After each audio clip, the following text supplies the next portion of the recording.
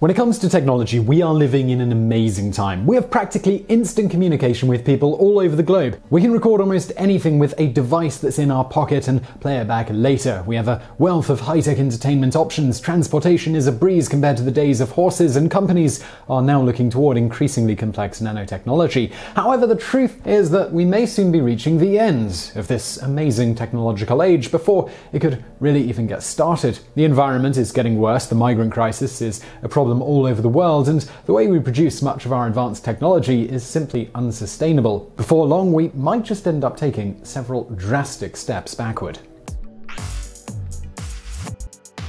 Number 10. We are running out of a lot of important metals for making smartphones. Smartphones were, in the early 2000s, a novelty that most people didn't have and were just starting to explode onto the scene. The battle between Apple and Android had reached a fevered pitch, and everyone had an opinion on the matter. At the time, it was considered the most amazing thing ever, and people were enamored with it. It was at least one sci fi dream that was finally fulfilled a PDA combined with a phone that could do almost everything you needed, and it could fit in your pocket and even act as an entertainment device. The world was in love, and our relationship with smartphones has been going strong ever since. However, we have become a bit possessive and a bit obsessive with our love and our desire to constantly upgrade to new and better phones. This is causing some environmental consequences. Now, this isn't something about mining destroying the earth, but rather the problem is that many of the more advanced bits of your device require rare metals like chromium, tungsten, and molybdenum. These are generally only available to be mined as byproducts. According to a study by Yale scientists led by Professor Thomas Graedel of the Industrial Ecological Division at that university, we are simply running out of these metals, and there really aren't any good alternatives to what they do. At this point, the only real solution is recycling, but the problem is that the industry has dug itself into a hole on that account. Nearly all the rarer metals we are talking about are used in tiny amounts in already tiny devices, and the devices are really not built with the idea that they'd ever be recycled. Before long, smartphones may start becoming more primitive unless someone can make an incredible invention that quickly and efficiently strips away all of the rare materials from an old smartphone and automates the process without any serious environmental impact. Number 9. Technology is becoming increasingly complex and increasingly layered. Technology has advanced at an incredibly fast pace. It wasn't too long ago that Edison and Tesla were stunning everyone at the World's Fair, and now we have worldwide internet access, smartphones in everyone's pocket, and companies racing to make the first fully functioning self driving car. However, we may be backing ourselves into a corner from which it will be very hard to get out of. The problem is that a lot of technology is now so complex that it requires other advanced technology to make it, and that technology has the same problem like an increasingly problematic Russian nesting doll. Until you reach the end and find one single engineer who only understands one tiny piece of the puzzle. As we start to explore nanotechnology, the problem only increases. The technology requires us to make increasingly complex machines, which make increasingly complex machines, and our house of cards it becomes increasingly fragile. If anything were to majorly disrupt the system, such as natural disasters or global unrest, it could take decades, if ever, to get the system back to where it was before. The reason is because many of our technology simply cannot be built from scratch scratch. They take layers of complex machines that must first be designed and built to even get to that level in the first place. In the end, this could put us in a very tricky position. Number 8. The amount of people who can make an entire piece of technology is dwindling. Back in the day, you had watchmakers, blacksmiths, tailors, bakers, and other tradesmen making up the world. People tended to specialize. They could do one thing very well, and they could do it comprehensively on their own. It actually paid off to specialize, and the world functioned just fine, with people often bartering their skills if needed instead of just straight up trading money.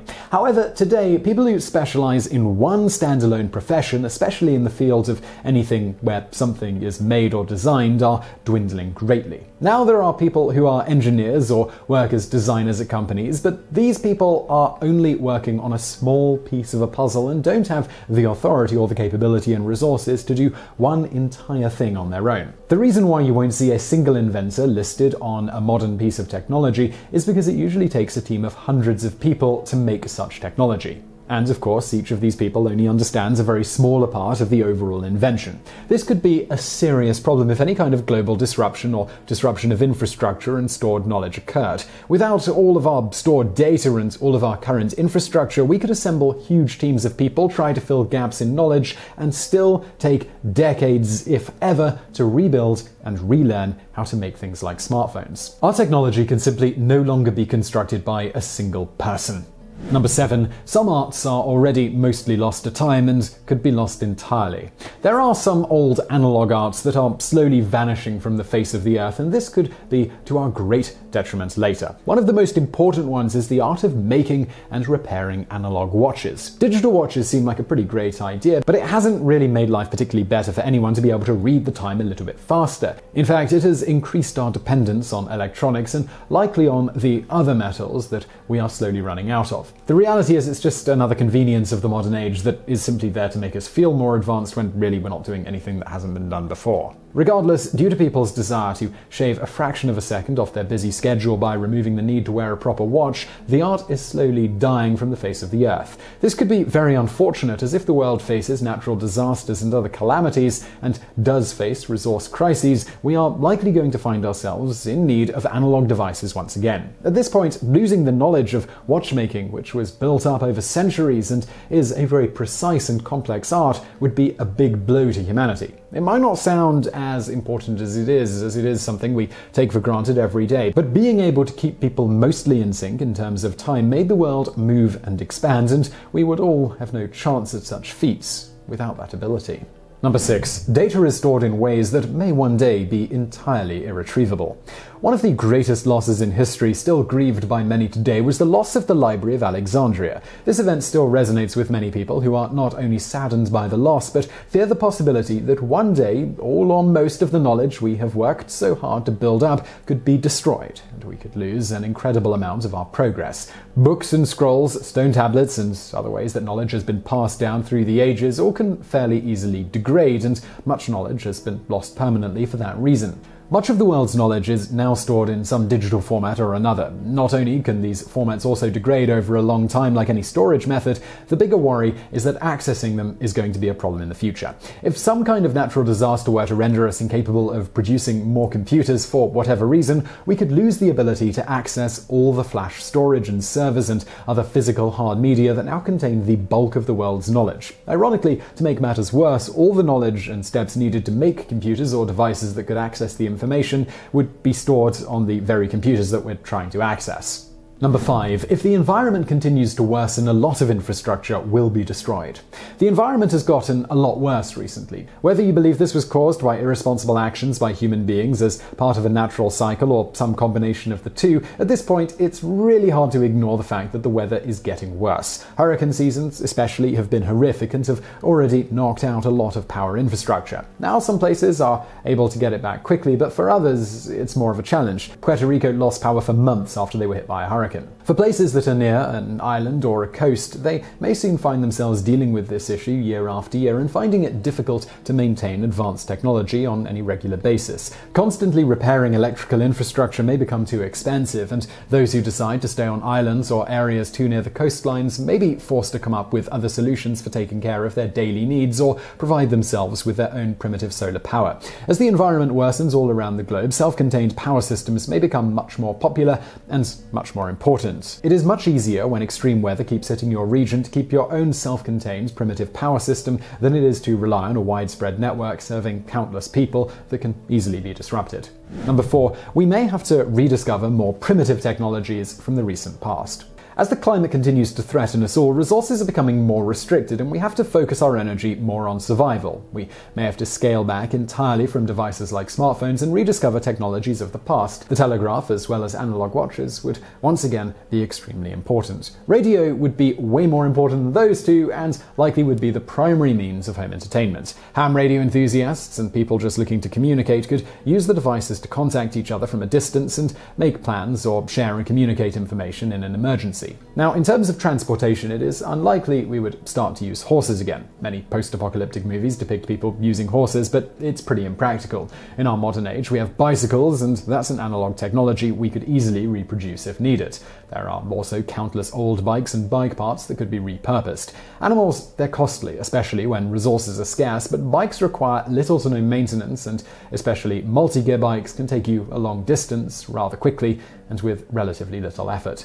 Number three, global trade could be very easily and very quickly disrupted by environmental disaster. As of right now, the countries of the world are already at one of the most divided places they have been since the World Wars. In fact, in some ways, it may even be worse. Many allies are even showing great tension with each other, and global cooperation is low. The United States has backed out of several international agreements, the United Kingdom is leaving the European Union, and there is little comity currently between the EU and the current United States leadership. With the migrant crisis ongoing around the globe and the environment worsening, many countries are becoming increasingly insular and forgetting their once proud commitment to helping others in need. Many simply feel too taxed already by the ongoing crises. To make matters worse, the world is already becoming embroiled in a trade war which is somehow even affecting our own allies and is already showing the beginnings of deep disruptions in global trade stability. If such a trade war is protracted, along with the climate wiping out various crops or industries one year or another, an era of unprecedented cooperation could come to a halt far faster than many would expect.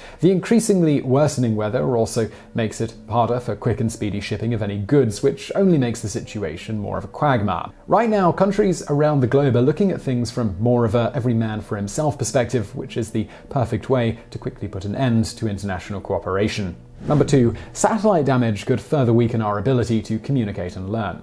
Today, we rely on satellites for an incredible amount of our communications infrastructure, and this may put us all in a very dangerous position. While it does allow us to have global positioning for navigating our cars or airplanes, and it allows for easy communication around the globe, it is a very fragile technology. Back in 1978, a scientist who worked for NASA named Donald J. Kessler came up with a theory sometimes called the Kessler syndrome and sometimes the Kessler effect. The theory is that as we continually put more and more satellites and other objects into space and their orbits decay, they will start to smack into each other. As they do, they will break up into smaller pieces and then do the same thing over and over again. These pieces will be incredibly damaging to anything they hit, even at small size, and if enough of a chain reaction were to start, we could lose a huge amount of our satellite infrastructure in a relatively short span of time. If this were to happen, we could lose an incredible amount of communication overnight, and we may need to start learning to read directions and street signs to properly move around again. To make matters worse, while there is a backup to communicate with the internet across the pond, it involves huge cables under the ocean. If sabotage of some kind were to occur or an environmental disaster happened, countries could find themselves completely cut off from each other. If we weren't able to repair this in time, we might find ourselves having to go back to old fashioned methods of communication. Number one, people could be more concerned with resources in the near future than technology. As we mentioned, the world is already entering into an ugly trade war that has no real end in sight and could cause incredible damage to countless lives and businesses before it is over. This trade war is partly a result of the ongoing crisis around the world due to the climate changing, resource issues, and people trying to migrate to a better part of the world.